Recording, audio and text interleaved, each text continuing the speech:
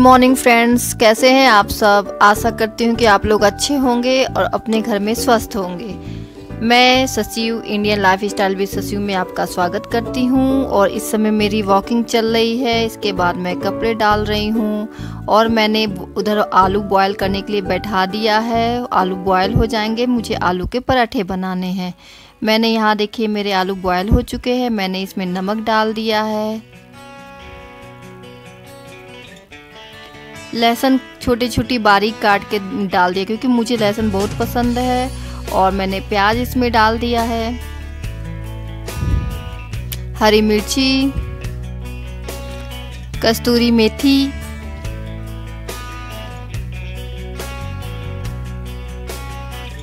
कड़ी पत्ता,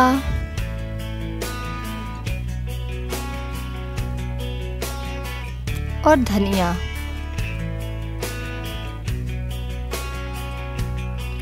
इन सभी को मैंने मिक्स कर लिया है। आटा मैंने गुथ के रख लिया था। सॉफ्ट आटा चाहिए इसके लिए। मैंने सॉफ्ट आटा गुथा है। उसमें उसके अंदर मैं इसको भर के मैं बेल के फिर बस यहाँ मेरे पराठे रेडी हो रहे हैं।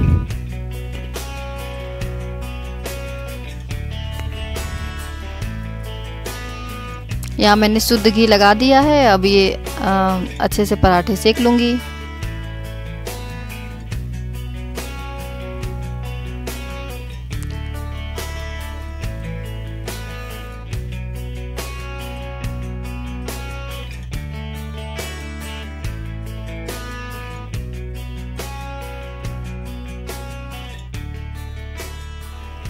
पराठे मैं इधर बना रही हूँ और मैं इसको सर्व करूँगी मीठी चटनी के साथ, दही के साथ और अचार के साथ।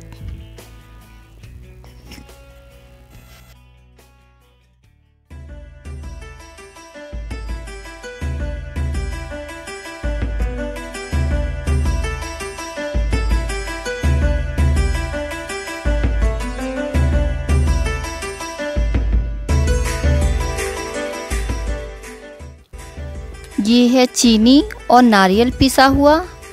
आटा एक के जी भुना हुआ, सौंफ भुनी हुई, पिसी हुई और ये है बादाम पिसा हुआ और ये है सोट आप लोग ये सोच रहे होंगे कि ये कौन सा किचन है? तो ये मैं नीचे आई हुई हूँ आंटी के किचन में और बस यहाँ पे तैयारियाँ होने जा रही है पंजीरी बनाने की और ये आंटी है जो पंजीरी अभी बनाएँगी और हम लोग मिल के पंजीरी बनाएँगे। तो बस उसी की तैयारियाँ शुरू कर रहे हैं और फिर बनाना स्टार्ट करते हैं। इस समय मैं आंटी के सेल्फ पे बैठी हूँ क्योंकि मैं छोटी थी और मुझसे चलाया नहीं जा रहा था तो मैं आ गई हूँ और इसके सेल्फ पे बैठ गई हूँ।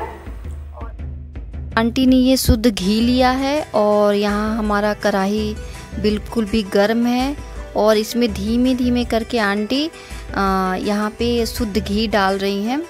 और ये जो भी बनेगा, शुद्ध घी में बनेगा और एक साथ घी नहीं डालेंगी क्योंकि इनको हलवा नहीं या वो लड्डू नहीं बनाना है। इसमें घी उतना ही पड़ेगा जितना ये पंजीरी बन जाए जो कटोरी में लेके आदमी चम्मच से खा सके। इसीलिए आंटी ने इसमें ज़्यादा घी एक साथ नहीं डाला है। धीमे धीमे ऐड करती जाएँगी, मिक्स करती जाएँगी इसमें। तो यहाँ हमारा ये गर्म हो चुका है। अब आंटी पूरी तरह से इसमें डाला है सोंठ। सोंठ को ही इसमें पकाना है, वो भी ज़्यादा नहीं पकाना है, क्योंकि बाकी सारी सामग्री जो है आंटी ने पहले ही से भून के रखी है। ये है बादाम। बादाम आंटी ने पूरा एक के जी लिया है, उसको भून के इसको पीस लिया था। ये है सौंफ। तो सौंफ को भी आंटी ने हल्का सा सेक के और उसको भून लिया है पीस लिया है। तो इसमें कुछ भी ऐसा नहीं है कि जो एक्स्ट्रा यहाँ भुनना है और हमने गैस को फिर बंद कर दिया क्योंकि हमारी जो कढ़ाई है वो काफ़ी गर्म है और इसमें सभी चीज़ों को केवल मिक्स करना है। इसमें सौंफ का फ्लेवर आएगा। अगर आपको इलायची का फ्लेवर चाहिए तो आप इसमें इलायची ऐड करिए। आंटी ने नहीं किया है और देखिए ये धीमे धीमे आंटी यहाँ पे इसमें डालती जा रही हैं घी।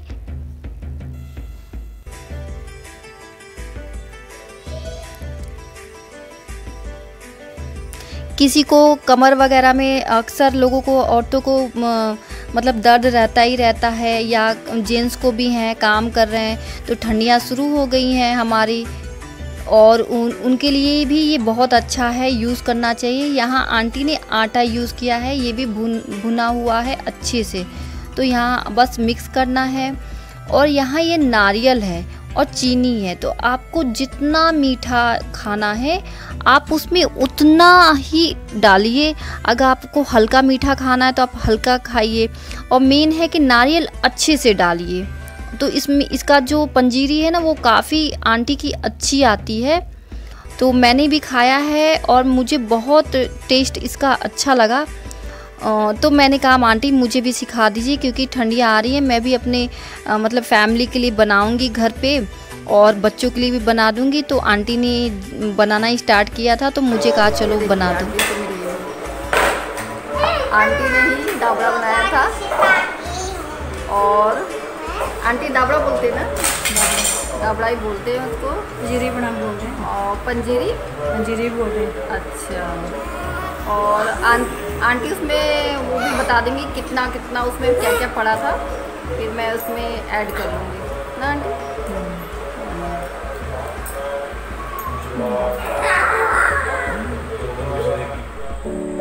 फ्रेंड्स आंटी के घर के आने के बाद मैं थोड़ी देर बैठी थी उसे मुझे नींद लग गई, मैं सो गई।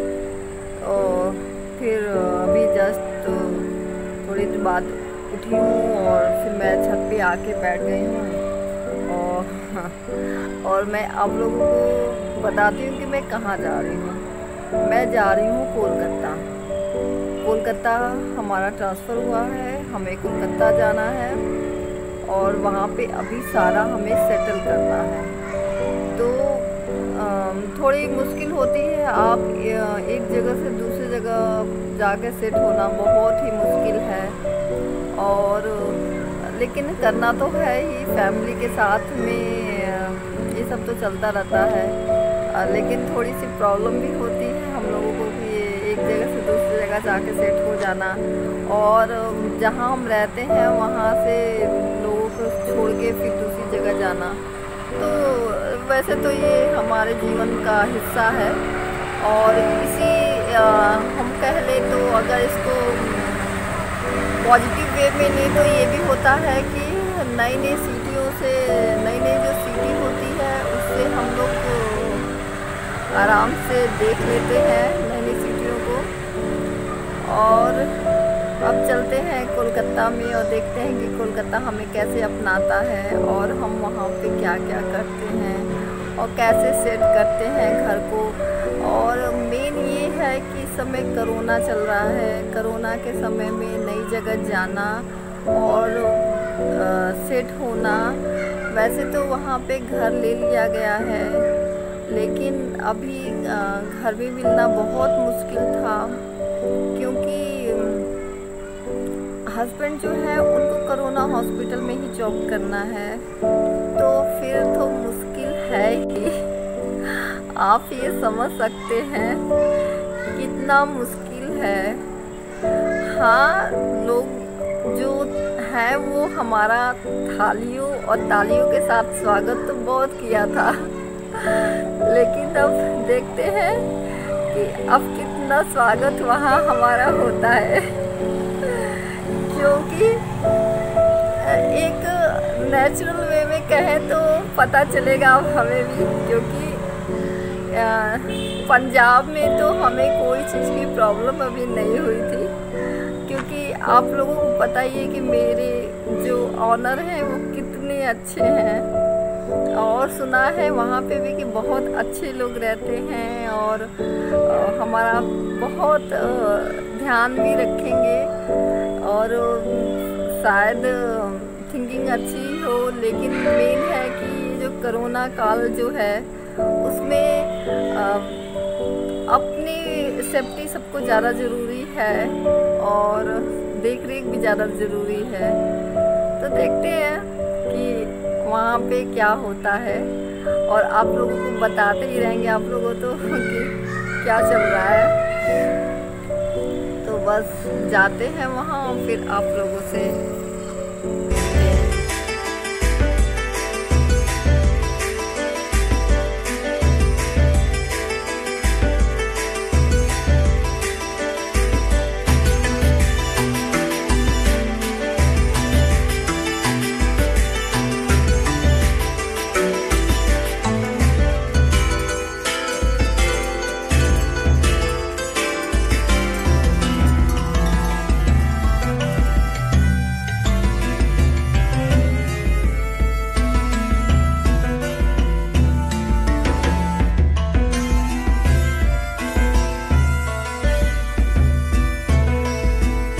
देखिए, बच्चे, मैं बाहर से देख रही हूँ, बच्चे अंदर खेल रहे हैं और गुरुबाणी चल रही है टीवी पे। तो फ्रेंड्स, आज का वीडियो मैं यहीं समाप्त करती हूँ। अगर आपको मेरा ब्लॉग अच्छा लगता हो तो प्लीज़ प्लीज़ प्लीज़ लाइक करिएगा, सब्सक्राइब करिएगा और शेयर करिएगा। और मैं आपसे नेक्स्ट वीडियो में फिर मिलती हूँ। Okay friends bye bye